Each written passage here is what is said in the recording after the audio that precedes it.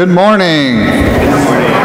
Welcome to Wesley United Methodist Church. We are so glad you're here to worship God with us here on this Sunday morning, and we would love for you to spread some Christian love. So, could you please turn to a neighbor and let them know you are glad they are here?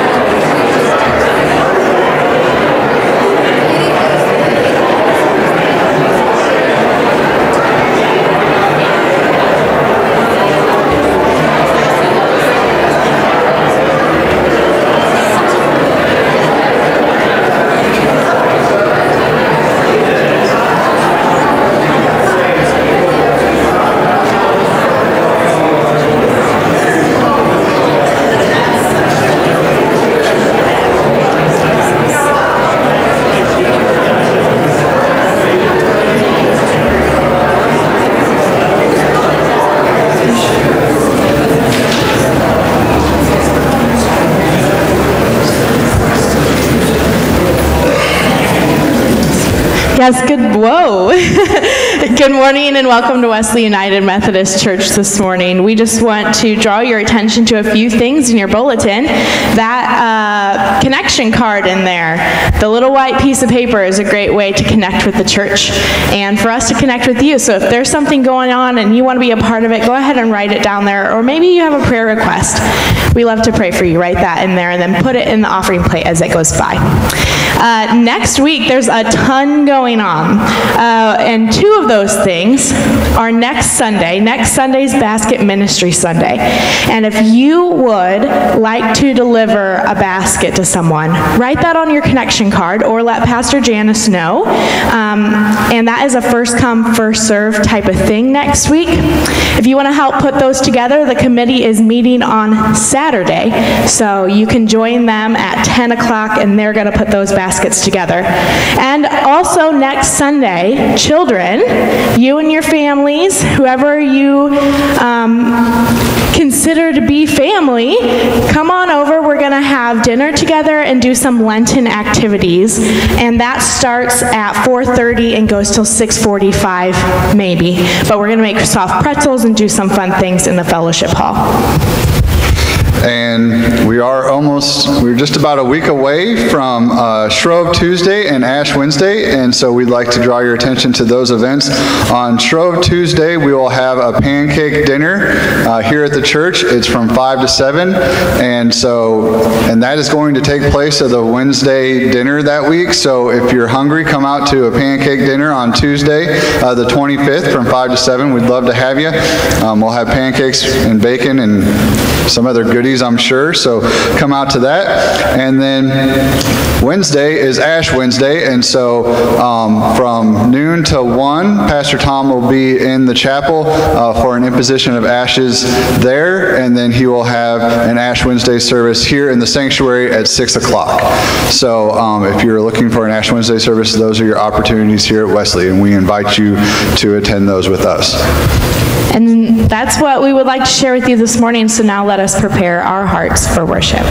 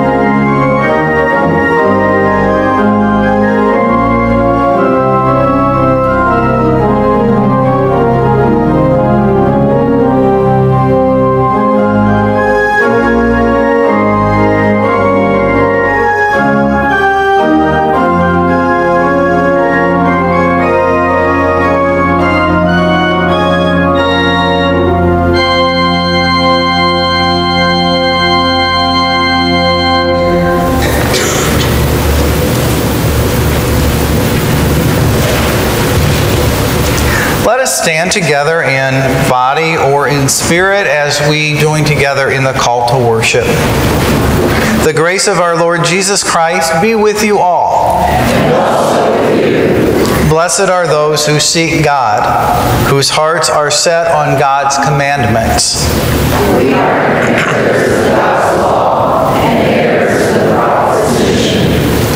God's Spirit permeates our human scene, lifting us above our jealousies and quarreling. We reach the highest and best for upright hearts and righteous deeds. In all we do, God offers us choices between good and evil, between life and death.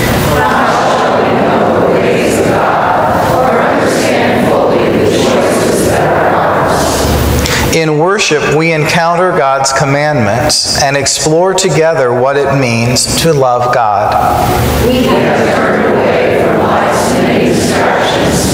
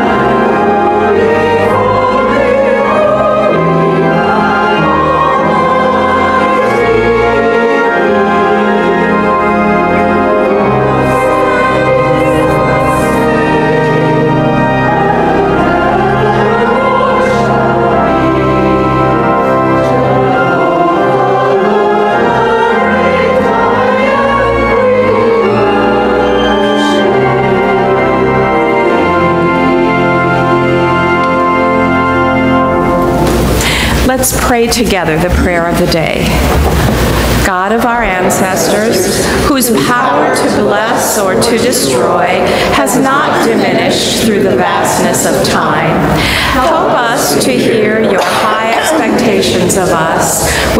Defensiveness or denial, that we may be open to the changes you require, respond in ways that bring life, and working together become your community of spiritual people who have something special to offer to your world.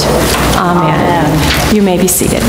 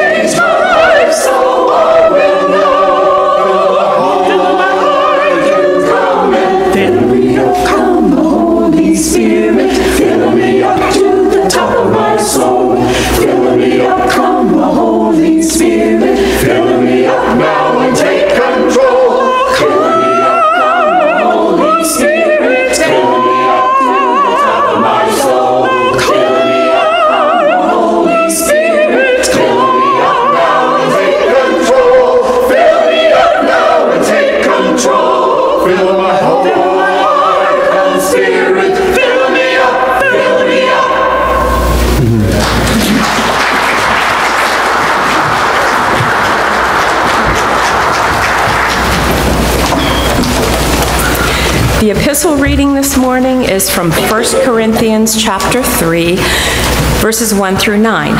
Paul is addressing the divisions in the Corinthian church and the two leaders upon whom the divisions are based. And he begins by letting the people know they are not as wise and spiritual as they may think. And so, brothers and sisters, I could not speak to you as spiritual people, but rather as people of the flesh, as infants in Christ.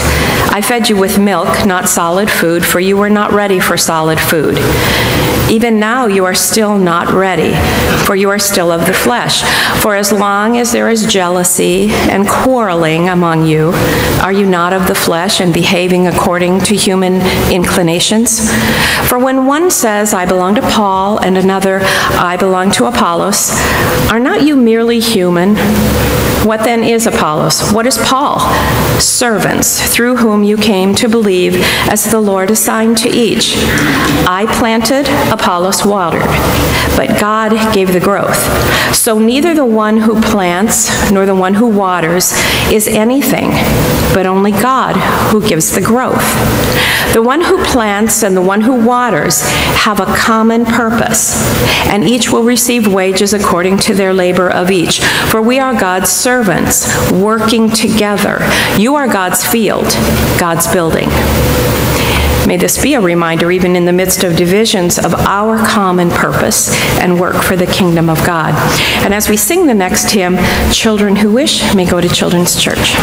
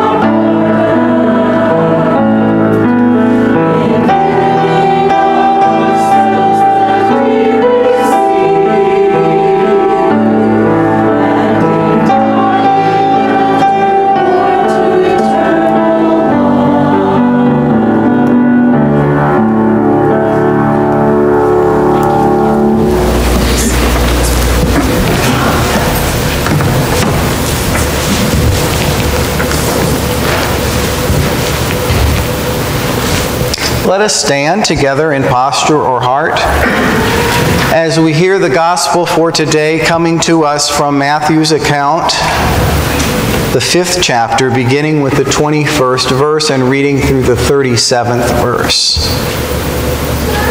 Jesus says, You have heard that it was said to those of ancient times, You shall not murder, and whoever murders shall be liable to judgment.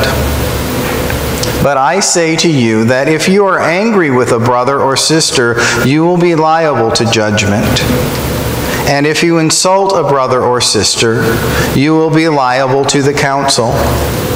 And if you say, You fool, you will be liable to the hell of fire. So when you're offering your gift at the altar, if you remember that your brother or sister has something against you, Leave your gift there before the altar and go. First be reconciled to your brother or sister, and then come and offer your gift. Come to terms quickly with your accuser while you are on the way to court with him. Or your accuser may hand you over to the judge, and the judge to the guard, and you will be thrown into prison. Truly, I tell you, you will never get out until you have paid the last penny. You have heard that it was said, You shall not commit adultery. But I say to you that everyone who looks at a woman with lust has already committed adultery with her in his heart. If your right eye causes you to sin, tear it out and throw it away. It is better for you to lose one of your members than for your whole body to be thrown into hell. And if your right hand causes you to sin, cut it off and throw it away. It is better for you to lose one of your members than for your whole body to go into hell. It was also said, Whoever divorces his wife, let him give her a certificate of divorce. But I say to you that anyone who divorces his wife, except on the ground of unchastity, causes her to commit adultery. And whoever marries a divorced woman commits adultery. Again, you have heard that it was said to those of ancient times, You shall not swear falsely, but carry out the vows you have made to the Lord. But I say to you, do not swear at all, either by heaven, for it is the throne of God, or by earth, for it is his footstool, or by Jerusalem, for it is the city of the great king. And do not swear by your head, for you cannot make one hair white or black. Let your word be yes, yes, or no, no. Anything more than this comes from the evil one. The word of God for the people of God. You may be seated.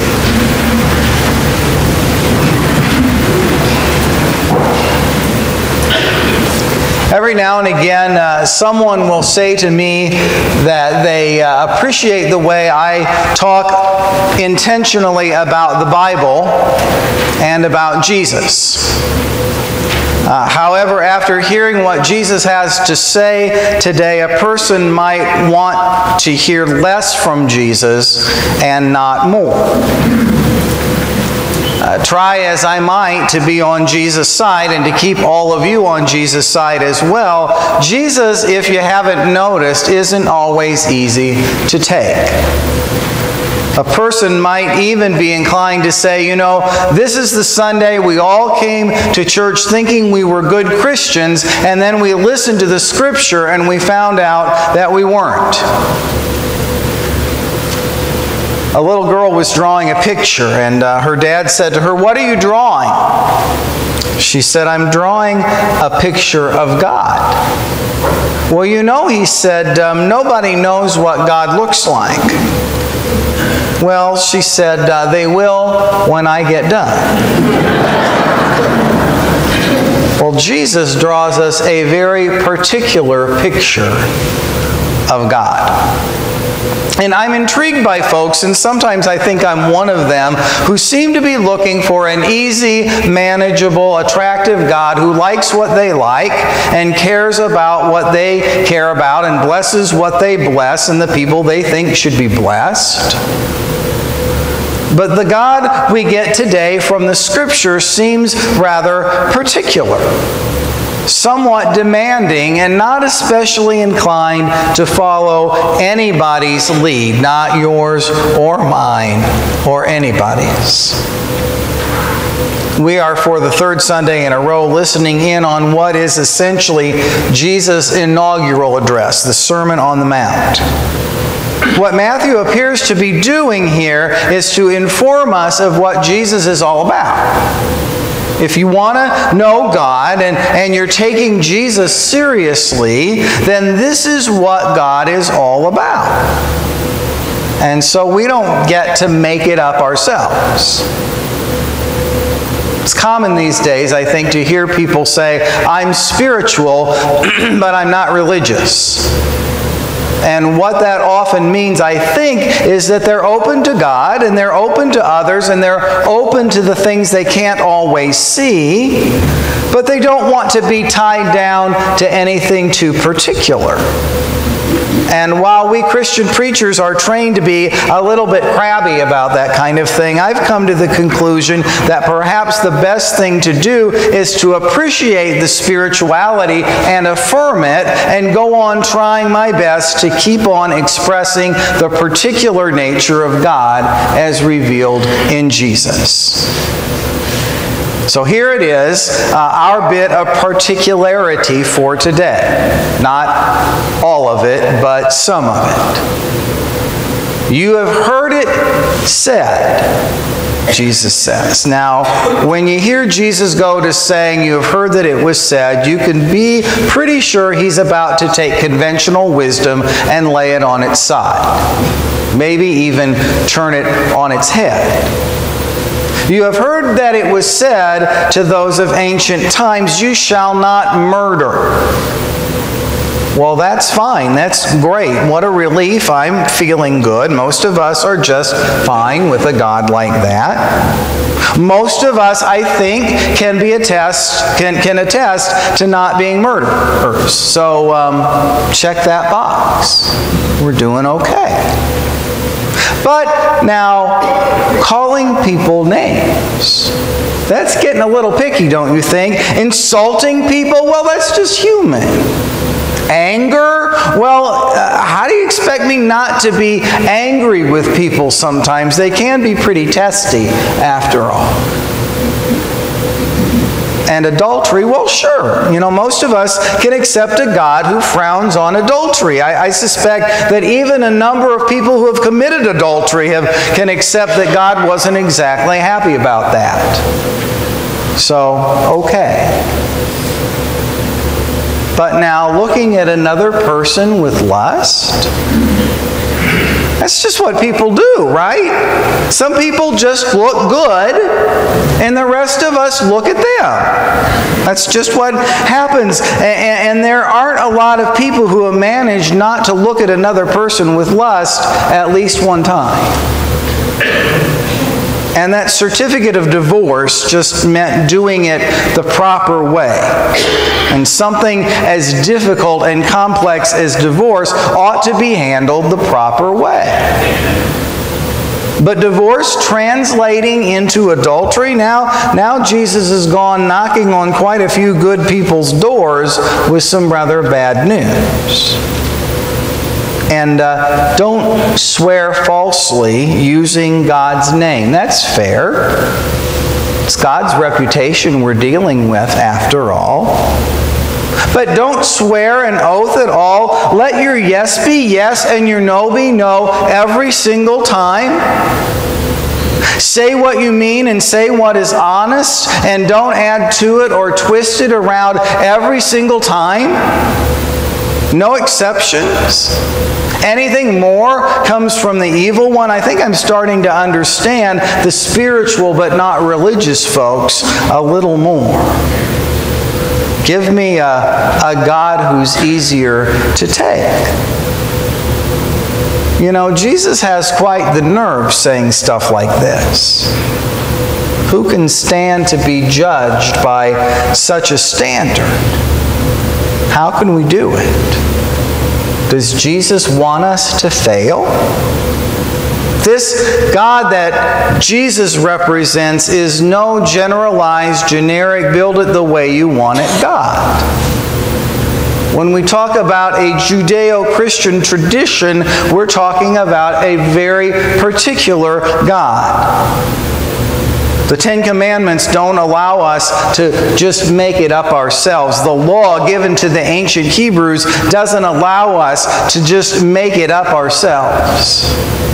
And now Jesus comes waltzing in with the audacity to say, as he did last Sunday, that our righteousness must exceed that of those who know and practice the law and the commandments most faithfully of all. And what he seems to be getting at, if I'm anywhere near to right, is that God places an immeasurably high value on relationships. That sort of notion permeates what Jesus is saying today. Righteousness, from the standpoint of the Bible, means right relationship. It's about what people do to each other. It's about how they treat one another. The Ten Commandments and the law were given to the Hebrew people in order to provide a framework for people to live together in a manner that would promote the least harm and the most good for all. In the case of today's words, Jesus takes the Hebrew law he's learned and pushes it even harder and sets the bar even higher.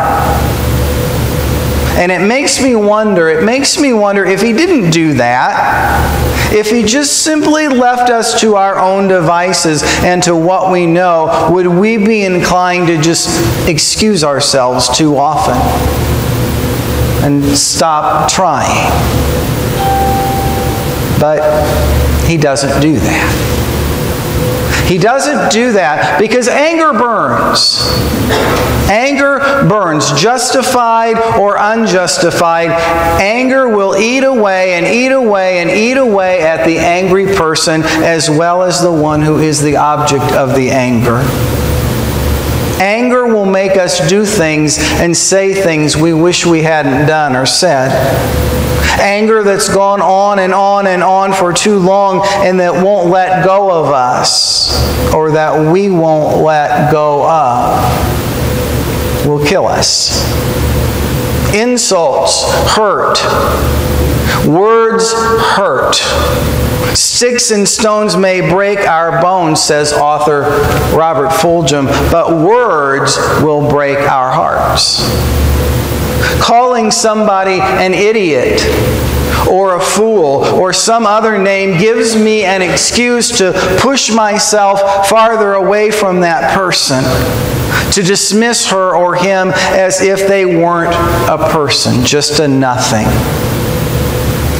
And we live in a culture that allows words, more and more critical words and condemning words, to fly around like bullets and bombs. Words about people who are different from us. Words about people who don't agree with me careless words in our homes and our schools and our workplaces and our public places. If only every one of us would go home today and simply commit ourselves to exercising care over the words that we print, the words that come out of our mouths. We did no more than that. If only we might put more effort into our marriages and our committed relationships. If only we might see other people as people and not merely as objects. If only we were to conduct ourselves in a way that others would know they can trust us. Jesus is as concerned about what's happening on the inside of us where nobody can see as He is about what's happening on the outside of us, where everybody can see. And Jesus won't let us get out of here today without thinking, you know, maybe I need to improve. Nor will he let us point the finger at murderers and adulterers and habitual liars and all the other people we're eager to condemn and go home thinking, oh, I've aced the test and I am justified in condemning these bad ones. And who knows? Who, who really knows? Maybe, maybe Jesus says all these things he says today because he believes in us more than we believe in ourselves. Maybe he dares to talk on this way because he really thinks we can do better and be better. Sometimes we think, you know, I really can't be that good. I really can't. You, you're better than me, and I can't be that good. Yes, you can. Yes, I can. Underneath all this judgment that cuts to the core today, maybe Jesus is paying us a compliment. Maybe we ought to walk out of here today feeling every bit as affirmed as we feel challenged. Maybe we ought to get up and go from here standing tall figuring, you know, Jesus really thinks quite a bit of me and quite a bit of all of us after all. He believes we can be better. I can say this Jesus loves so much. He loves so much, and His love is so demanding that you and I can't really help recognizing our frailty and our failure and our brokenness and so also our need for forgiveness and grace. And it just so happens the particular God with whom we are brought face to face today turns out to be just that a God who is rich in forgiveness and grace. That's the good news. We won't die with this very particular God. We'll live. By God's grace, we'll live. So let's be encouraged and let's never give up. Amen. As we pray now, I invite you during the prayer when I pray the phrase, Lord, in your mercy, to respond by praying the phrase, Hear our prayer. Let us pray. Oh,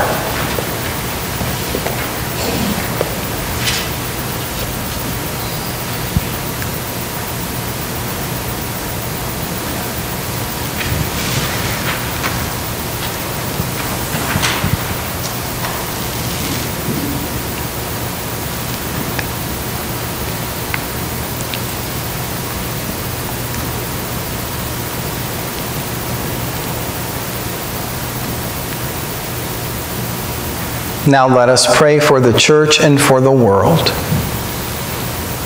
Grant, Almighty God, that all who confess your name may be united in your truth, live together in your love, and reveal your glory in the world. Lord, in your mercy, guide the people of this land and of all the nations in the ways of justice and peace that we may honor one another and serve the common good. Lord, in your mercy. Give us all a reverence for the earth as your own creation, that we may use its resources rightly in the service of others and to your honor and glory. Lord, in your mercy. Bless all whose lives are closely linked with ours, and grant that we may serve Christ in them and love one another as Christ loves us. Lord, in your mercy, comfort and heal all those who suffer in body, mind, or spirit. Give them courage and hope in their troubles, and bring them the joy of your salvation. Lord, in your mercy,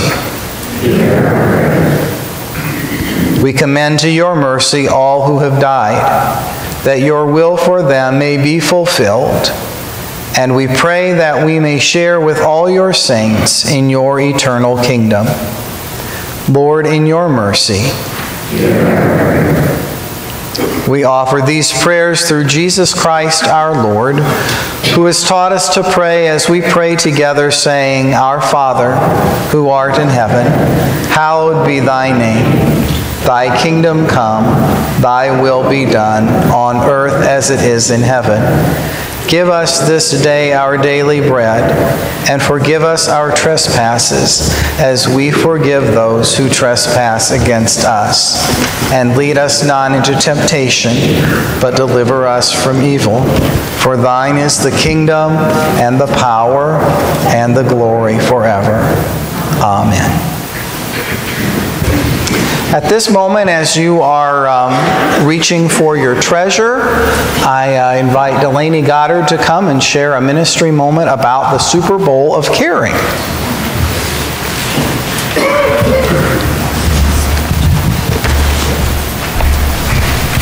So two weeks ago, we collected money for this. Um, we collected money in cans of soup for our local. Er, for a local Charleston food pantry and the high school food pantry. Due to the generosity of this congregation, we were able to provide both food pantries with roughly about 50 cans, as well as a monetary donation about $275. Thank you for helping the church to love of Christ in our community by supporting these local food pantries as we partner with them and help those in our community that need our help. Thank you.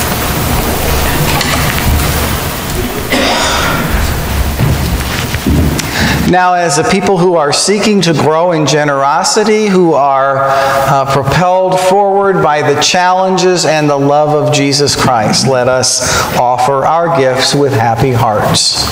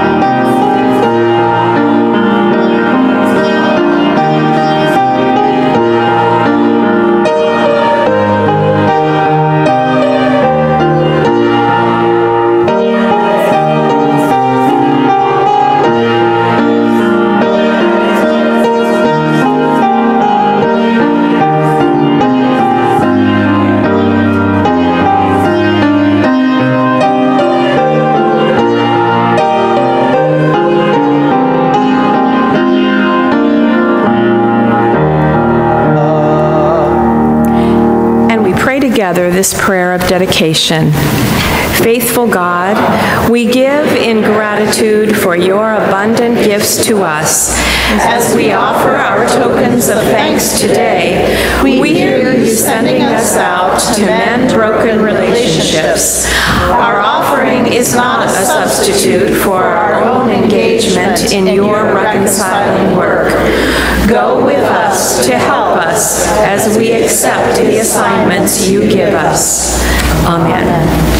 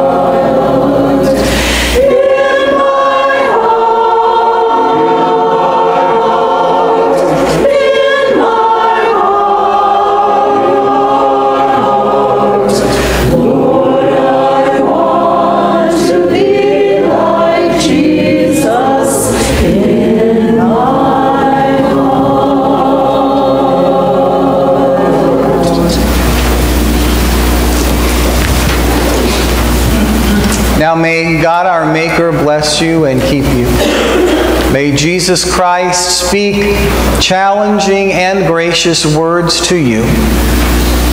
And may the Holy Spirit empower you to rise to the challenge of doing God's reconciling work in this world. Go in peace to love and serve the Lord in the name of Jesus Christ.